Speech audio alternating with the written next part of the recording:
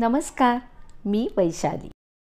सतरा ते अठरा वर्षापूर्वी एल जी कंपनीचा हा फ्रीज मी घेतलेला आहे. हा सिंगल डोअर आहे आणि एकशे पंच्याहत्तर लिटरचा आहे. फ्रीजमध्ये वेगवेगळ्या गोष्टी ठेवण्यासाठी मी अशा बास्केट्स वापरते. त्या एकूण चार बास्केट्स आहेत. तुम्हाला दिसत असेल उजव्या हाताला ज्या बास्केटला हँडल आहे तशी हँडल तीन बास्केटना आहे आणि उजव्याकडच्या पांढरीला मात्र हँडल नाही आहे सगळ्यात आधी फ्रीजरमध्ये काय असतं ते सांगते. हे चीज आहे सँडविचमध्ये वगैरे आपण वापरण्यासाठी याचा वापर केला जातो. हे पिझ्झा बनवण्यासाठी लागणारं अमूलचं चीज आहे. हे पण चीज आहे. हे माझ्याकडे पहिलं होतं पण आज मला जास्त लागणार आहे म्हणून मी अजून जास्तीचं आणून ठेवलेलं आहे. हा जो डबा आहे ह्याच्यामध्ये मी दरवेळेस दोन नारळ खरवडून ठेवते. लागेल तसा मला त्याचा वापर करायचा असतो. आत्ताच तो धुवून ठेवला आहे आता मी त्याच्यात नारळ खरवडून ठेवून देणार आहे. आणि या छोट्या डबामध्ये मी नेहमी खरवडलेला जो नारळ आहे तो पण भरून ठेवते. लागेल तसा मोठ्या डब्यातला मी काढून या छोट्या डब्यात ठेवते. या डब्यामध्ये अमूल बटर आहे. मी मागच्या माझ्या टिप्समध्ये सांगितल्याप्रमाणे मी ह्याचे छोटे छोटे किंवा मोठ्या आकारामध्ये तुकडे करून ठेवते आणि लागेल तसा त्याचा वापर करते. आणि या सगळ्या वस्तू ठेवल्यानंतर आपला फ्रीजर असा दिसतो. मागे जो व्हॉयलेट कलर तुम्हाला दिसतोय त्याचे बर्फाचे दोन ट्रे आहेत ते सिलिकॉनचे आहेत. मी शक्य तिथे प्लॅस्टिकचा वापर टाळलेला आहे. तुम्हाला दिसत असेल तर फ्रीझरमध्ये सुद्धा मी सगळ्या गोष्टींसाठी स्टीलच्या डब्यांचाच वापर केलेला आहे. आणि जेव्हा मला आईस्क्रीम करायचं असतं तेव्हा इथलेच दोन तीन डबे काढून मी आपण दूध ज्या ट्रेमध्ये ठेवतो तिथे ठेवते आणि ही वरच्या जागेमध्ये आईस्क्रीमचे डबे ठेवते. फ्रीझरच्या खाली हा जो ट्रे दिसतोय त्याच्यामध्ये आत्ता दूध आहे आणि मागच्या बाजूला हा जो हिरवा डबा आहे त्याच्यामध्ये मी साठवते रोजची साय. साधारण आठ दिवसांनी हा डबा भरतो आणि आठवड्याचं ताजं लोणी आणि ताजं तूप आपल्याला मिळून जातं. आणि मगाशी म्हटलं तसं ही जी इथे जागा उरते इथे आपल्याला फ्रीझरमधनं काही गोष्टी आईस्क्रीम करायचं असतील तेव्हा काढून ठेवता येतात. नंतर येतो फ्रीजचा पहिला कप्पा. ह्याच्यामध्ये दोन बास्केट तुम्हाला दिसत आहेत एकाला हँडल आहे एकाला नाही आहे डावीकडच्या बास्केटमध्ये काय ठेवते ते सांगते. या बास्केटमध्ये मी भाज्या ठेवते. म्हणजे ज्या भाज्या लवकर खराब होणाऱ्या असतात त्या भाज्या या बास्केटमध्ये असतात. इथे तुम्हाला गाजर दिसत आहेत टॉमॅटो दिसत आहेत मी कालच वांगी आणली होती. ती वांगी इथे ठेवलेली आहेत. आणि ह्या कुठल्याही भाज्यांसाठी मी वेगळ्या पिशव्या वगैरे वापरत नाही. आणि मी रोजच्या माझ्या भाज्या ह्या फक्त दोन दिवसाच्या माझ्या फ्रीजमध्ये आणून ठेवते. कधी ह्याच्यामध्ये ढोबळी मिरची असते कधी बीट असेल कधी काकडी असेल अशा सगळ्या गोष्टींनी हे बास्केट भरलेलं असतं. आणि फ्रीजरच्या जवळ हा कप्पा असल्यामुळे ह्यातल्या वस्तूसुद्धा खूप छान फ्रेश राहतात. ही दुसरी बास्केट आहे उरलेल्या गोष्टींसाठीची. ह्याच्यातसुद्धा गोष्टी ठेवताना मी काचेचे बाऊल काचेच्या बरण्या स्टीलचे डबे यांचा वापर करते. इथे तुम्हाला दिसत असेल ही जास्तीची बर माझी कोथिंबीर आहे आणि मी ती स्टीलच्या डब्यातच ठेवलेली आहे. माझ्या टिप्समध्ये मी सांगितलं होतं त्याप्रमाणे मी ह्याच्यामध्ये कुठलाही पेपर वगैरे ठेवत नाही. आजही आठ ते दहा दिवस झालेत आपली ही कोथिंबीर तितकीच फ्रेश आहे. फक्त काढलं की डब्याचं झाकण पुसून घ्यायचं. नंतर या डब्यात आहे उरलेली मेथी. ही मेथीसुद्धा आठ ते दहा दिवस झालेत खूप छान ताजी राहिलेली आहे. या डब्यात आहे उरलेला पालक.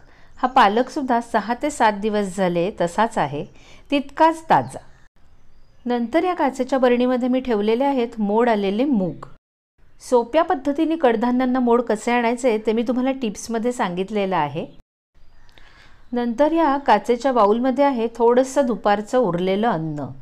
हे मी मुद्दाम असं जे काही अन्न उरलेलं असतं ते छोट्या छोट्या काचेच्या बाऊलमध्ये ठेवते आणि ते बाऊल हाताशी एकत्रच ठेवते. म्हणजे माझ्याही लक्षात राहतं की आत्ता आपल्याला नक्की घरामध्ये काय अन्न शिल्लक राहिलं आहे हा एक उकडलेला बटाटा शिल्लक राहिलेला आहे आणि हे सुद्धा असंच एक माझ्या एका रेसिपीसाठी ठेवून दिलेलं आहे. कधी पण आपली उरलेली डाळ असेल भात असेल असं एका ठिकाणी ठेवलं तर आपल्याही पुढचा कुकर लावताना काय शिल्लक आहे ते लक्षात राहतं. आता फ्रीजचा दुसरा कप्पा. त्याच्यामध्ये अशी एक बास्केट ठेवलेली आहे. या बास्केटमध्ये आहेत चार काचेच्या बाटल्या आणि दोन स्टीलचे डबे. त्यातल्या दोन बाटल्यांमध्ये तुम्हाला दिसतही असेल की त्या मी शेजवान चटणी शेजवान सॉस अशाच्या ज्या बाटल्या असतात त्या दोन बाटल्यांचा वापर इथे केलेला आहे. या बास्केटमधलं सगळं सामान आपल्याला एका वेळेस लागू शकतं. याचा फायदा म्हणजे मी हा नुसतं बास्केट फ्रीजमधनं बाहेर काढली की एका वेळेस मला सगळ्या गोष्टी माझ्या हाताशी राहतात. त्या काय आहेत ते सांगते. या बाटलीत आहेत लिंब. लिंब जास्त असतील तर ती कशी टिकवायची ते मी तुम्हाला टिप्समध्ये सांगितलेलं आहे. या बरणीत आहेत हिरव्या मिरच्या. यात आहे आलं. यात लसूण सोलून ठेवलेला असतो तो आता संपत आलेला आहे. या स्टीलच्या डब्यात आहे कोथिंबीर. मी मगाशी जी स्टीलच्या डब्यामध्ये तुम्हाला कोथिंबीर दाखवली होती त्यातली पहिली कोथिंबीर मी ह्या डब्यात काढते ह्यातली संपली की मोठ्या डब्यातली परत काढून घेते. म्हणजे माझी रोजची वापरातली ही कोथिंबीर आहे इथेही खाली पेपर वगैरे काहीच टाकलेला नाही आहे आणि या डबीत आहे कढीपत्ता. मला ह्यावेळेस मिळतानाच कढीपत्ता थोडासा असा छान मिळालेला नव्हता पण तरीही आठ दिवस झालेत हा खूप छान राहिलेला आहे. आणि शक्यतो मी कढीपत्ता काड्यांसकटच आत ठेवून देते. म्हणजे त्या काड्यासुद्धा कधीकधी वापरता येतात. अशा प्रकारे आलं लसूण मिरची कढीपत्ता कोथिंबीर लिंबू हे सगळं आपल्याला असं एकाच बास्केटमध्ये मिळून जातं. दुसऱ्या कप्प्यातल्या या बास्केटच्या शेजारची जागा मात्र रिकामी असते. तिथे काय ठेवते ते नंतर सांगते. आणि हा आहे फ्रीजचा तीन नंबरचा कप्पा याच्यामध्ये तुम्हाला एक बास्केट दिसते आणि एक डबा पण दिसतोय. या बास्केटमध्ये चॉकलेटशी संबंधित सगळ्या गोष्टी आहेत. कारण एकदा का आपण ते चॉकलेटचं पॅकेट उघडलं की आपल्याला ते फ्रीजमध्ये ठेवावं लागतं तर ती सगळं हे आहेत. हे आहे व्हाईट चॉकलेट हे आहे मिल्क चॉकलेट आणि हे आहे डार्क चॉकलेट. ही आहेत मगजबी ही बरणीसुद्धा मी नटेलाची बरणी स्वच्छ धुवून परत वापरायला काढली. हे आहेत डार्क चोको चिप्स आणि हे आहेत व्हाईट चोको चिप्स. हे अगदी कधीतरी लागतात म्हणून ह्याला एकदम खालच्या कप्प्यामध्ये मी ठेवून दिलेलं आहे. आणि इकडे हा जो डबा आहे याच्यामध्ये आहे चायनीज पदार्थ बनवण्यासाठी जे सॉसेस लागतात ते सगळ्या गोष्टी आहेत. या एकाच डब्यात बसलेले आहेत dark chilli sauce red chilli sauce green chilli sauce आणि शेजवान सॉस. मला चायनीज पदार्थ फार करावे लागत नाहीत त्यामुळे ह्या गोष्टीसुद्धा मी अगदी कमी प्रमाणामध्ये आणते. आणि इथे हा दिसतोय हा सगळ्यात तळात आहे आपला भाज्यांचा ट्रे. याच्यामध्ये इथे आत्ता तुम्हाला कोबी दिसते आणि ओली हळद. एरवी ह्याच्यामध्ये मुख्यतः असतो फ्लॉवर.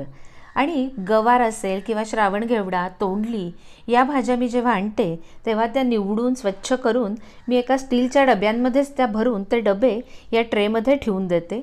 लागेल तशा त्या पटकन मला काढता येतात कारण मी खूप भाज्या साठवत नाही.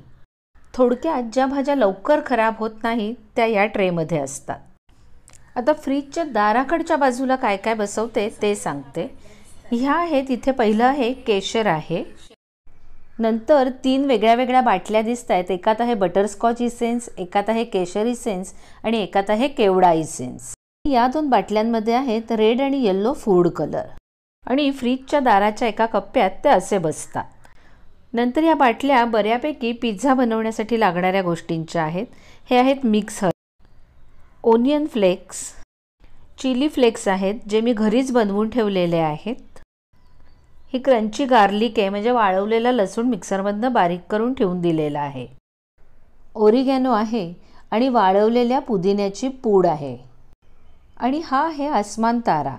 माझ्या सासूबाईंचा जो व्हिडिओ होता सुपारी विना सुपारी त्याच्यामध्ये या आसमान ताराचा वापर केला आहे आणि अनेक जणांनी विचारलं आहे आसमान तारा म्हणजे काय? तर आसमान तारा हा असा दिसतो. फ्रीजच्या दाराच्या दुसऱ्या कप्प्यामध्ये त्या अशा बसतात. नंतर यातून काचेच्या पाण्याच्या बाटल्या आहेत. एरवी आत्ता आहोत अजूनही थंडी संपलेली नसल्यामुळे ह्या दोनच बाटल्या फ्रीजमध्ये ठेवलेल्या आहेत. कारण अचानक त्याला आपल्याला जर का गार पाणी लागलं तर आपल्या हाताशी पाणी पाहिजे म्हणून दर आठ दिवसांनी मी हे पाणी बदलते पहिलं पाणी झाडांना घालते आणि नवीन पाणी त्याच्यामध्ये भरून ठेवते. या बाटलीत आहे कोकम आगळ. सोलकढी किंवा आमसुलाचं सरबत किंवा आंबटगोड वरण करायचं असेल तर या आगळचा मी वापर करते. नंतर दोन सॉसच्या बाटल्या आहेत.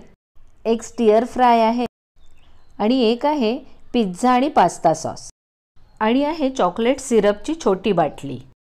ही आहे बासुंदीसाठी लागणारी चारोळी. आणि हे आहे फिल्टर कॉफीचं डिकॉक्शन.